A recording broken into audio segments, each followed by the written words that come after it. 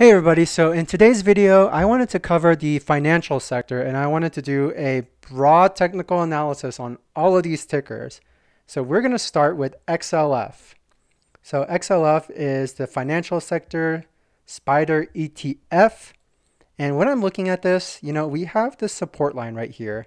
And this has caught many of these um, massive rallies right here, as you guys can see.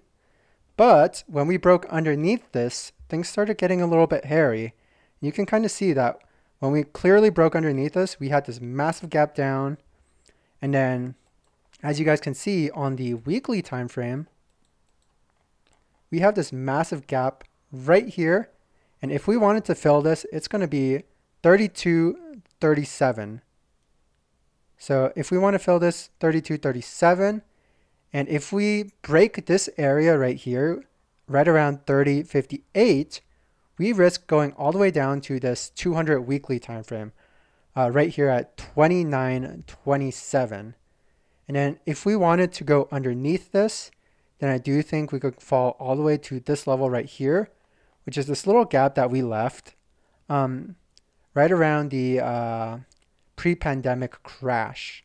So we could go all the way down to that area, which is kind of support right around here, as you guys can see. And we do have this gap that we've never filled before. And this takes us all the way down to 2463. So that's about a 20% crash from where we already are.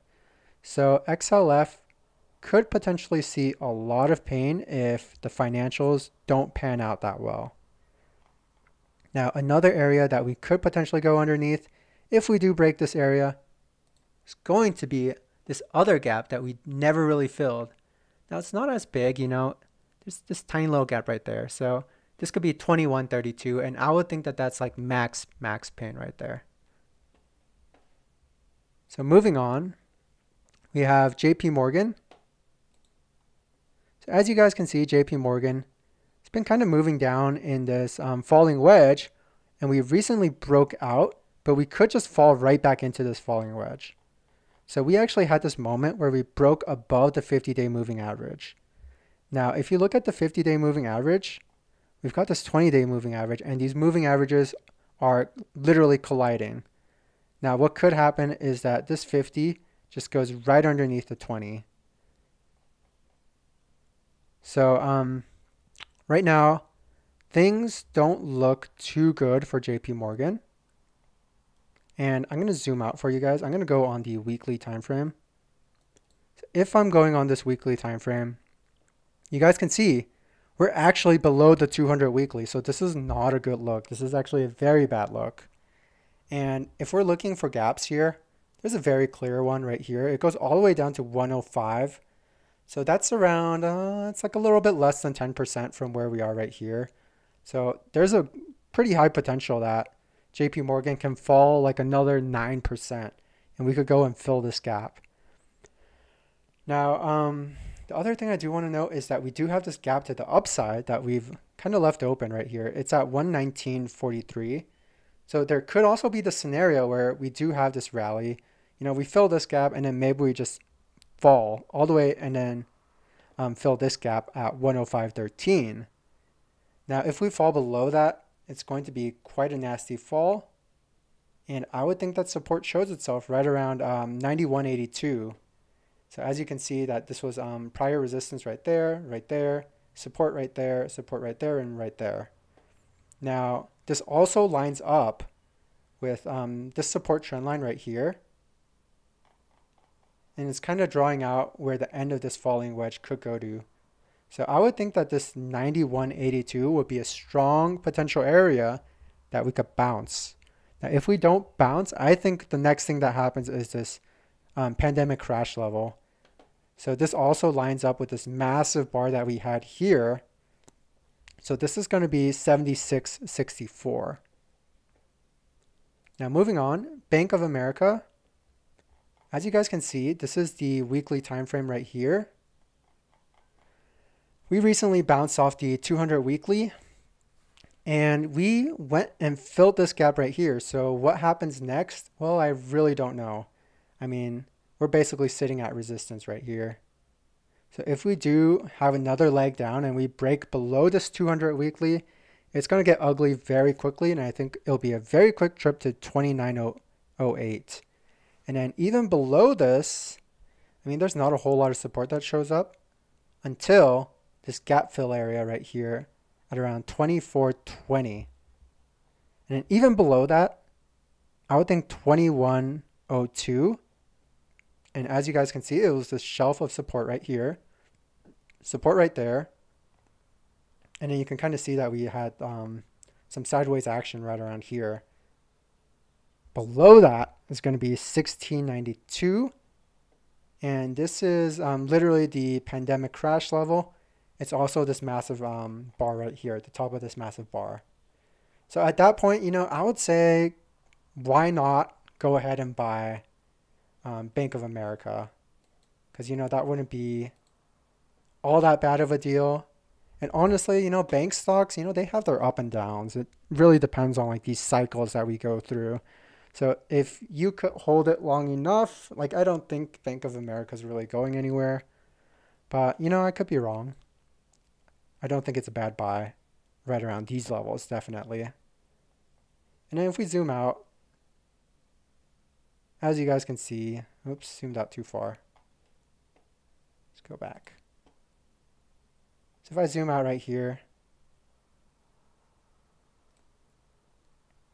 it's also resistance right there. So this could be a pretty nice level of support if we do fall all the way down there. And then who knows, maybe it could be like a double bottom and then we rally. Now Wells Fargo, I mean, it's like the least popular of the bunch. Nobody likes Wells Fargo. So if we're looking at Wells Fargo, we do have this resistance line right here. It was resistance right there, right there, right there, right there. And then we actually broke right here. But then notice that when we had this gap down, this was acting as resistance right there. Hard rejection right there. So if we do fall, I would think that we just go right back to this 3691 area. As you guys can see, it's the top of this massive green bar right there. It's also a support right around here. If we break below this, I think it gets pretty ugly pretty quick. And I would think that, you know, we're just going all the way down here to uh, 3303. Now, below this, I would think that we could go all the way down to this um, 2472 to 2591 zone. So as you guys can see, there's just like a lot of sideways action right around here. So that's kind of like my base case for Wells Fargo. Um, and also do note that we recently had this 20-day moving average on the week cross below the 50 uh, weekly. We're also below the 200 weekly on price action. So Wells Fargo doesn't look good right now. Ally, Ally had such a strong rally as you guys can see. This was one massive, massive rally. So this leads me to believe, okay, on the way down, it could be just as strong. So right now we do have a gap on the weekly chart. If we want to fill that gap, we're going to have to go all the way to 37.56-ish. And if we're looking at downside right now, we cracked below this 200 weekly. So it doesn't look good right now. We are basically sitting around this um, pre-pandemic crash level. If we do cut underneath here, well then I think we could find support, and it's not even good support, right around 28.33. And if I'm looking for a stronger area of support, I would think right around here at this 2304 level could be a much stronger support. Below that, well, you don't really want to know. It gets pretty ugly. I would think um, right around here, maybe uh, $20. But right now, Ally does not look good underneath the um, 200. And there's not even a whole lot of price action on Ally. Morgan Stanley. So Morgan Stanley is definitely doing a lot better than these others. If we're looking at the 200 weekly, it's still above the 200 weekly. As you guys can see, we're in this falling wedge um, pattern right here. And we recently cut underneath the 100 weekly. So um, doesn't look too good right now. And we could have this 20 day moving average on the weekly cut underneath this 100 day weekly. So um, we could see that happen, and we could possibly just go all the way down to this 200 weekly. If we're just looking, there's really not a whole lot of support on Morgan Stanley. So this could just be straight down, you know. Like I would think right here we could maybe momentarily stop. That's right around uh, 66.94. This isn't even a strong support area, you guys. This is pretty damn weak. And um, we could even go down, fill this gap right there. Not a big gap. And then if we really wanted to fill the big gap, if we're filling that big gap, it's going to be this right here. Right there at 52.87. Now, if we're going to fall below that, I would think that the strongest area of support is going to be right around here at 45.75. Now, you guys can see that this was resistance, resistance, support, resistance, resistance, resistance, resistance, support. So this is probably the strongest area. And it also happens to be like the end of this um, uh, falling wedge pattern. So um, definitely I would think 200 weekly could happen. And if we break below that, then this is by far the strongest level of support right here, 45.75. Schwab, Schwab does not look that good. So um, if I'm just looking at Schwab, it's definitely stronger than everything else. But you also have to look at this 200 weekly right here. And it's looking like we're going to want to go down there. This 200 weekly is at 54.36. And if I'm looking here, there's just not a whole lot of support around that area. So I do feel like, you know, it wouldn't be surprising if we just cut underneath that. And we revert all the way back to this area right here, right around 50, 57. It was prior resistance right there. It was acting as support right here. And then we have this little shelf of support right around there. And then if we break below that, I would think uh, 4350 could be entirely possible. It was resistance right there, resistance right there, resistance right there, resistance right there. Once we broke this area, we had this massive rally. I'm sure people right here were thinking, oh man, is this a double top? Nope, it wasn't a double top. It was a massive rally. Citi. City looks exactly like it sounds. It looks pretty city to me. So if I'm looking at Citi, um, I'm going to go on the weekly. So on the weekly, look at this. We have a death cross on the weekly. That is so bad. Death cross on the weekly. And if I'm looking at price action right here on this weekly time frame, you know, it looks like it could fill this gap right here at 43.99. So that can entirely happen. We fill that gap. Now what happens after we fill that gap? Well, I really don't know. Like there's not a whole lot of support here. I mean, we've just been chopping back and forth. I would think um, 3381 could be support. It was um, this level right here where we had this crash, support right here when we had this crash. And you can see that we are kind of messing around within this level right there.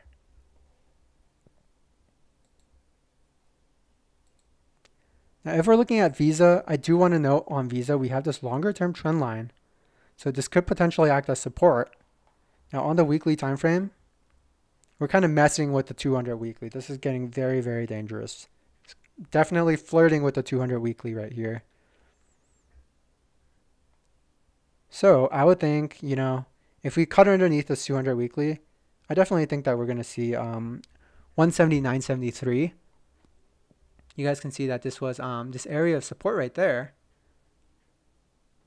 So, you know, if we cut underneath this um, support right there, well then it's a very, very, very steep fall if we don't get caught by this support line. So if we get caught by this support line, you know, it could be something like 169-ish or one like 167, 169, like in these uh, 160 to 170 levels. And then if we break below this, then yeah, I mean, there's really, really, really no support around here. I think it could fall all the way to 150.69. If we fall below that, you know, I would think 134.47. When I'm looking here, this is like the 2020 crash level. And if we fall below that, I would think that it's 122.70 is going to be our area. So um, this was also this crash level right here.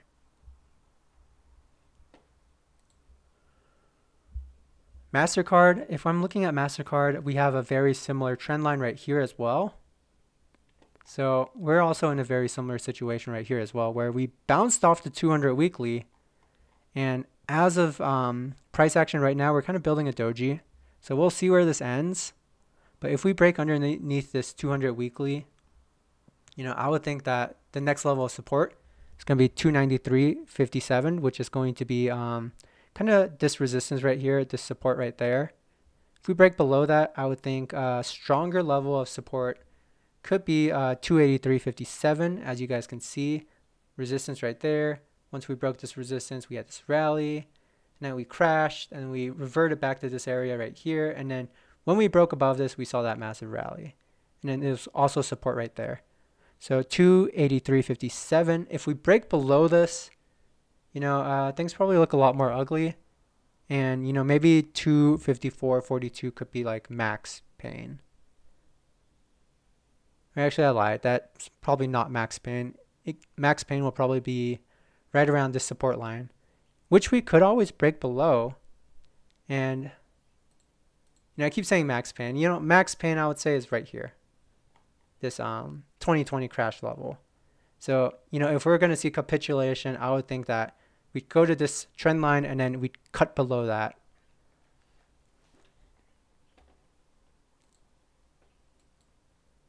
Now, American Express, uh, on the weekly chart, we do have a gap.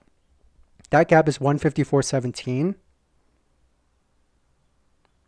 And if I'm zooming out here, um, you know, we could fall to this 200 weekly.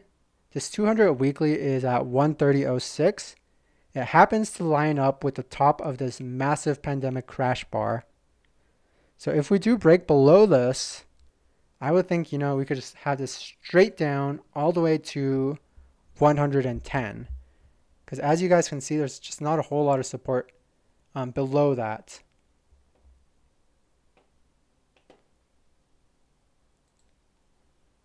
Now, uh, lastly, I'm looking at SoFi.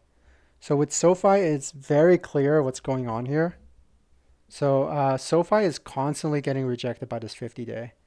So rejection right here, rejection right here, hard rejection right here.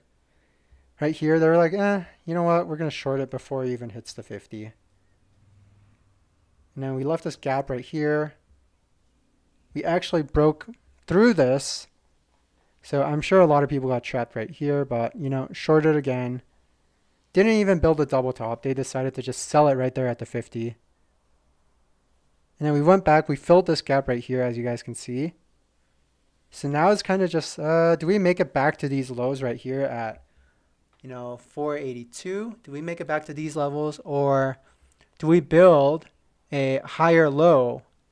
And then who knows what happens from there. But also notice that this 20 day and this 50 day are kind of converging. So we'll see what goes on with that. But um, thus far, it's just been lower highs and lower lows. So if the trend does continue, then yeah, we should break 482 to the downside. Now, SoFi is down so much that I actually wanted to go onto their balance sheet and calculate their um, tangible book value per share. So as you guys can see, I'm on their uh, most recent 10Q. I'm looking at their condensed consolidated balance sheets and I'm looking at this most recent quarter. So what I am doing right here is I am getting their total equity right here, their permanent equity. So I am getting this permanent equity amount. And from this amount, I am subtracting the untangibles, the intangibles. So those intangibles are going to be this line item right here, intangible assets, goodwill, it's going to be servicing rights, and it's going to be operating lease rights of use assets. So when I actually go through the calculations, I have an Excel spreadsheet that does this. So if I'm looking at this Excel spreadsheet, you know, I have the total equity. And remember, equity is assets minus liabilities.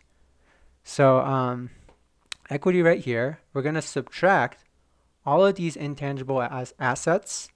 We're going to get our tangible book value And then from that, we are going to divide by shares outstanding. And then we get tangible book value at $3.29. So this is probably like an area of where you could really start seeing like max pain. And you know, but below this, you know, you'll say, oh, it's below tangible book value.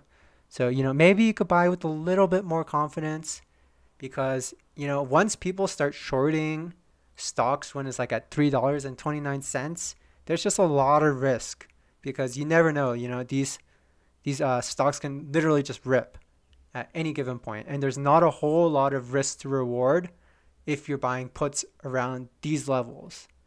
So I hope you guys enjoyed this video. I know it was kind of long, so I will leave uh, timestamps down below for you guys in the description if you want to just quickly make it to the ticker that you need. And I hope you guys have a good one.